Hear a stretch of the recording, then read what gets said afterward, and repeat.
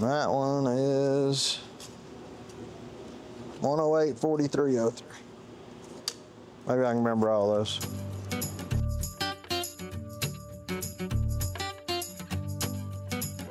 Welcome back to the channel. We're gonna go over some Toro bed knives and what happens to behind center distance if we change from various bed knives. So I got three different Toro bed knives. Um, this one on top here is Toro calls it a short bed knife. It's a hardened bed knife made out of tool steel and it's the micro cut. Then the other one I got is just a, a, standard bed knife. This is the one that I run on all my greens mowers. It's uh, 93, 43, 62. And then we got an extended bed knife. It's a 108, 4303. Each one of these bed knives is about a hundred thousandths difference.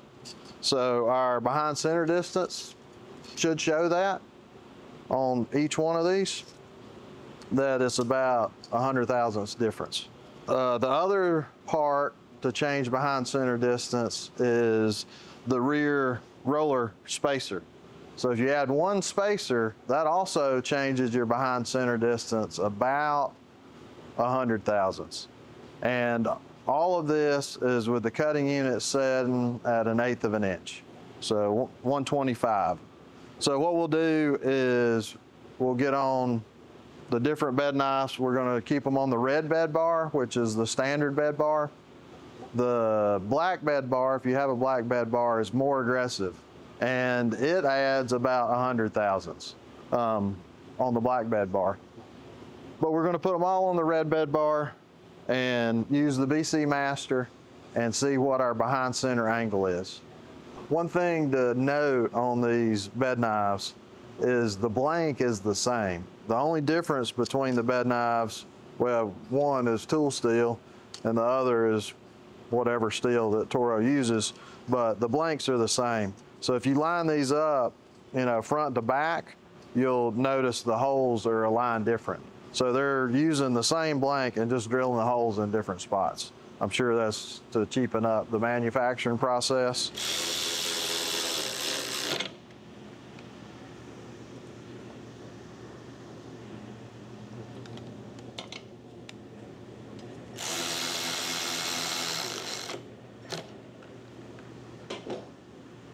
So I got my height of cut set to 125.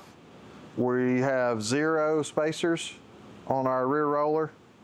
Inserted, there's some on top, but when you put the spacer below the aluminum flange, you're moving the rear roller down, so then you would have to move the front roller up.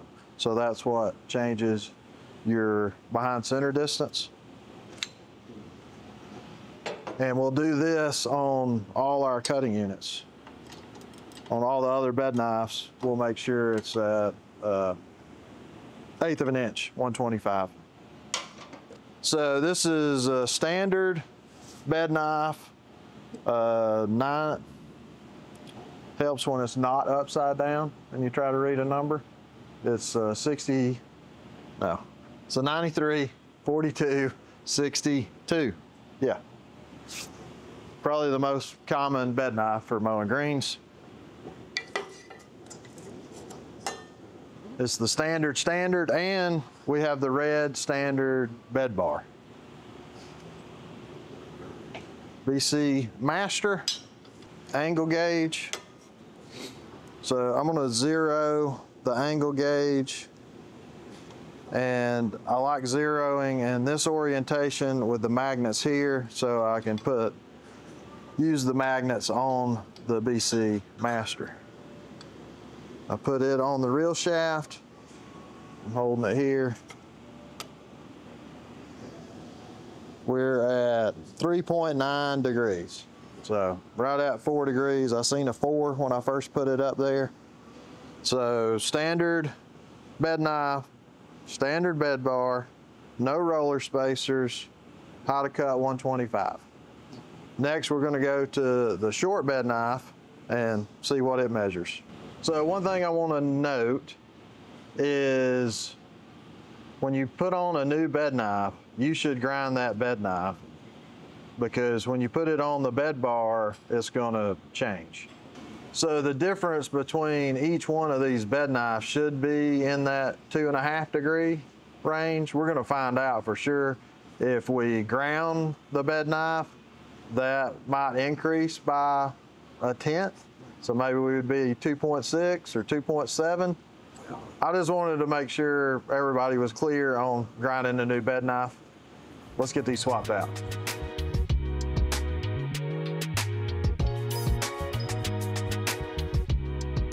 All right, we just swapped in the short bed knife.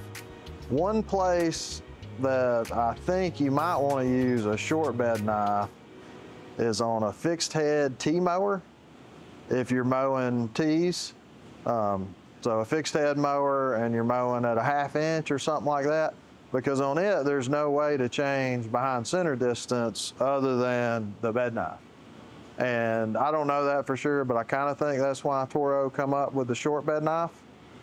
Um, I don't think people are going to use it on greens, but let's see see what it measures. Short bed knife.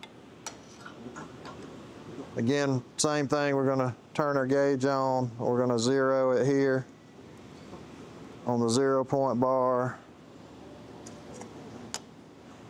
Stick it on there. So 5.4. So that's one and a half degrees. If we would have ground this bed knife, we'd have probably took off, you know, 10 thousandths off the front. Maybe it would have went to 5.5, but roughly one and a half degrees difference between the short and the standard on a standard bed bar and no roller spacers. Same height of cut, 125. Another thing to note on this, we put in the short bed knife, we checked the height of cut, it was still right at 125. Um, I know for a fact because I've done it, put on the extended bed knife, it changes height of cut about 10 thousandths.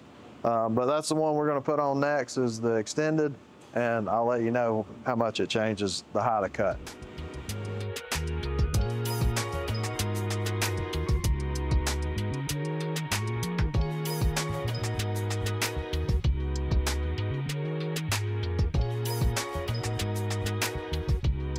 We got our extended bed knife on here and I was running an extended bed knife on uh, my greens cutting units, but I had a black bed bar. And at our other course, the guy down there, he was running extended on a red bed bar, and that actually puts the behind center distance in front of center, which we'll see here in a minute. Um, and I don't think that is the best way uh, or the best setup. Spe- you know, for we're mowing Bermuda grass and you know it gets thick and puffy and all those things. I don't think that's a good setup for Bermuda grass. So I would have never known that if it wasn't for the BC Master, that we were actually in front of center. So I'm to zero my gauge again. So it is 1.2. So it's and that's kind of the confusing part here is it's actually the other way. Um, and if we look down the center line of the reel, we can tell that the BC Master is pointed that way. So that is something to think about. Normally, this thing is pointed towards the bed knife, but in this case, it's pointed forward. So we're, I mean, close to 60 thousandths in front of center. Now, if we ground this bed knife, um, you know, and took off 30 thousandths or something, we'd be back close. The reason I don't like running an extended bed knife on a standard bed bar and having our behind center distance in front of center is I believe it lays over a lot of grass, and especially with Bermuda being thick and puffy, and we're just pushing it over instead of actually cutting it. So that's not good. And then what happens if you do that for a long period of time and then you put on a standard bed knife or a short bed knife, then you're going to be a lot more prone to scalping. Uh, the scenario we had is we switched at the other course from Toro units to John Deere units, and the John Deere units were a lot more aggressive. And I used the BC Master to dial us back in and actually get it back in front of center because this was later on in the year, like end of July, 1st of August. And that's not a time on Bermuda to try to bring it down. Something we thought about while we were doing this is the standard bed knife that I had in here had already been ground. So we're gonna throw on a brand new standard bed knife and measure it and see what that angle is.